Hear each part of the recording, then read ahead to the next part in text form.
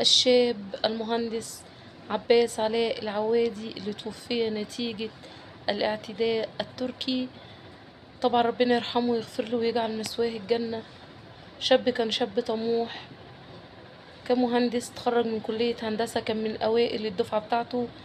قدم على الماجستير في مدة قصيرة.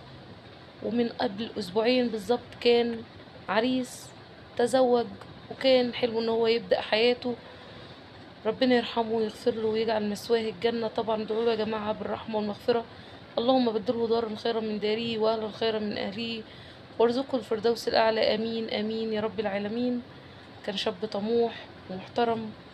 الشاب والمهندس عباس علاء العوادي. طبعا دي لقطات من لحظة وفاته. طبعا حالة من الحزن الشديد على كل إخواتنا في العراق. ربنا يصبرهم على فراقه. ده كان الخبر بتاعي. لو وصلتوا معايا لحد هنا like و share فعلوا زر الجرس عشان يوصلوا كل جديد والسلام